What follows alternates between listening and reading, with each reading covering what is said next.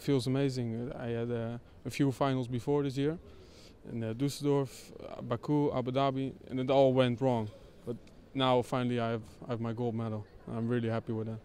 Yeah, final it went really well. I was uh, never in danger. It, uh, it felt good. felt good going into the final. And, uh, yeah, it was it was a pity that my coach couldn't be uh, be on my on my side, but yeah, he was sitting in uh, in the crowd and helping me, yeah, coaching.